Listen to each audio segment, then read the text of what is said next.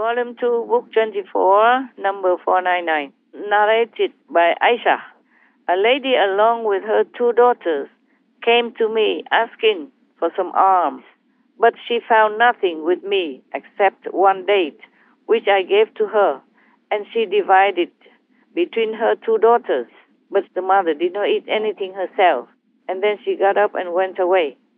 Then the Prophet, peace be upon him, came in, and I informed him about this story. He said, Whoever is put to trial by these daughters, and he or she treats them generously with benevolence, then these daughters will act as a shield for him from hellfire. It's another kind of charitable story, huh? Oh, yes, Master. And the moral we can learn from it. Yeah. Yes. Mm. Meaning, if you selflessly serve others, you will be shielded from hellfire. Right. Yes. Because those are persons who you are benevolent to, they will shield you. They will pray for you, for example, yeah? They will think good of you and do all things to make you comfortable in this life, you know, by prayers and also in heaven so that you don't have to go to hell. It's just another lesson of selflessness, Yes. Mm. of charitableness, of benevolence, Yes. Yes, Master. that you always need to consider others before yourself Yes. if you have no other choice. Like this woman, she begs for alms, but she has only one date. Mm-hmm. And even then, she didn't eat. She gave it to her two daughters instead.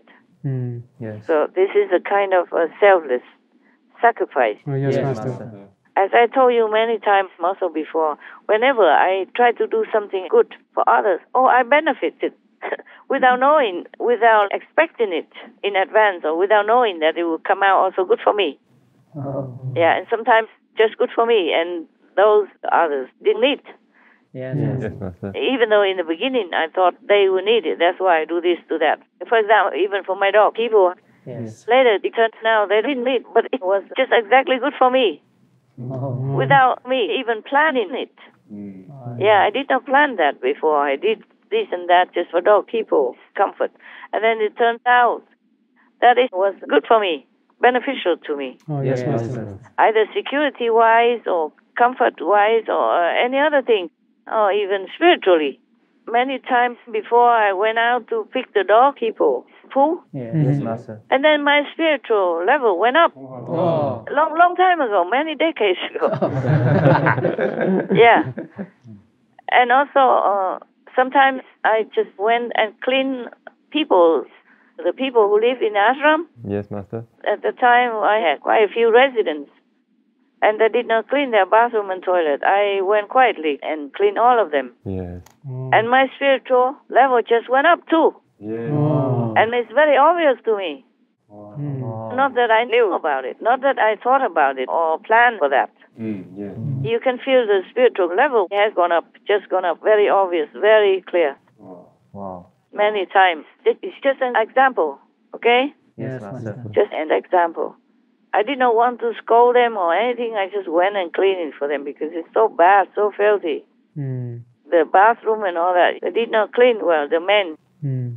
you are men, you know what men are. I hope you clean yours, okay? Yes. Yes, we do. That was long, long time ago. And also, like one time, I went on a hunger retreat just to pray for people who are in a hungry situation. And then my spiritual level also went up. I could feel it. At that time, I was not as high level, but I could feel it go all the way up my spine, you know, go oh. up. I felt very clearly different chakra open, pong, pong, pong, pong, pong, pong. Wow. Oh. Yeah, I went from one chakra to another so quickly. If not, I probably wouldn't have enough power now, you know, to go to. I mean, if it didn't all open and easily, I wouldn't have been able to jump to the next level or go to visit another more spiritually valuable outlet. Yes, understand, Master. Yes, Master. Nowadays, it's still like that. Different uh, spiritual levels or outlets. Mhm. Yes. Yes. You cannot just jump from one to high heaven. You have to go step by step also. And even if you know one spiritual outlet, you have to go there first, even though it's lower.